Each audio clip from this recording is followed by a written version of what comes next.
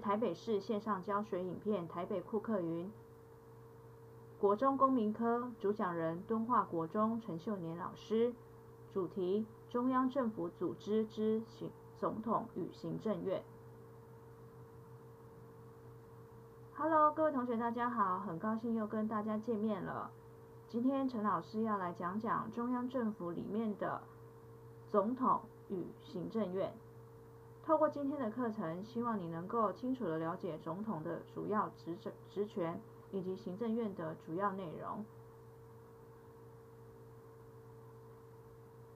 我国中央政府的组织跟职权，如果各位同学还记得上次老师有上过的课程的话，你应该记得中央政府的组织包含总统以及五院。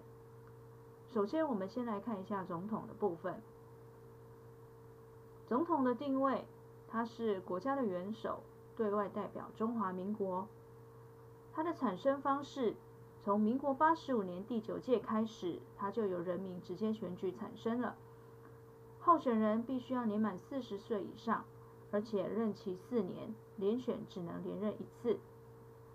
选举采多数决原则，简单来说，就是得票数最多的人当选。他的主要职权：一、统帅陆海空三军；二、依法公布法律、发布命令；三、依法行使人事任命权以及提名权；四、经行政院会议之决议发布紧急命令；五、成立国家安全会议跟国家安全局，以决定国家安全大政方针等。六、被动解散立法院。当立法院通过行政院院长的不信任案时，总统得在行政院院长的陈请下，经立法院院长同意后，被动解散国会。补充说明，刚刚我们有提到所谓的人事任命权，这里的人事任命是指他可以直接任命行政院长。而提名权的部分是指，他可以对司法、考试、监察三院长以及副院长，还有大法官、监察委员、考试委员、审计长以及最高检察署总长做提名的动作。提完名之后，必须要经过立法院同意，才能够上任。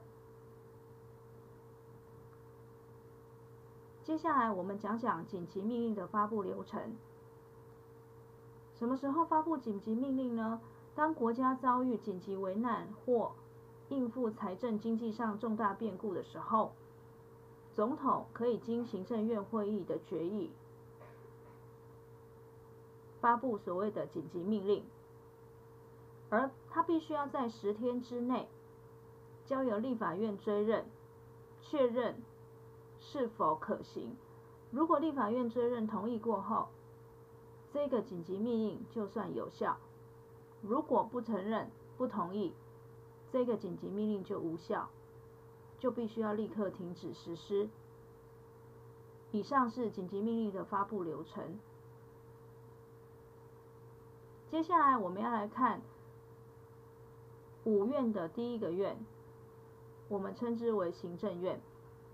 行政院的定位是我国最高的行政机关，而产生方式，第一个，行政院长我们叫做阁魁，由总统直接任命；第二，行政院副院长、各部会首长、政务委员、台湾省政府主席及委员、台湾省咨议会议长及议员，皆由行政院长提名后，呈请总统任命。三。政务官系统无任期限制，也就是做不好的话，就必须要下台。至于行政院的职权，第一个，依法规划和执行政策与法律，负责国家政策规划与执行。它的职权包括内政、外交、国防、教育、经济、财政、交通、法务等事务哦。第二，监督所属行政机关施政。三、行政院必须要对立法院负责，也就是他有权利向立法院提出施政方针与施政报告的责任，并且接受立法委员的质询。补充说明刚刚的复议权，当行政院无法接受立法院通过的法律预算条约案时，可以呈请总统核可，以请立法院复议。但若经半数立委维持原意时，行政院他必须接受立法院通过的案子继续执行。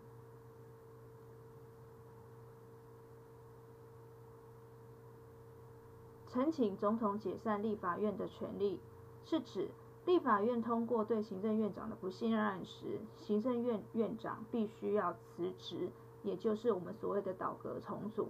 但行政院长可以在同时呈请总统解散立法院，改选立委，来作为制衡的机制。这也就是我们所谓的分权制衡说。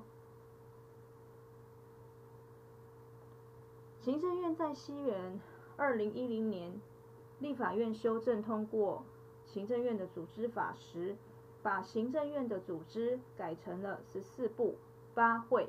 三个独立机关，一行一院两总处，而新的架构也在西元二零一二年一月一号分阶段实施。目前你所看到的就是行政院组织改造的情况。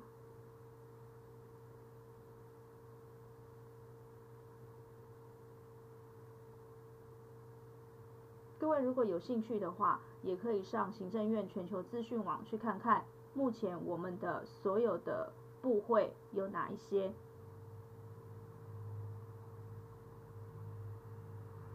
这是我们今天的课程，我们的课程就到此结束。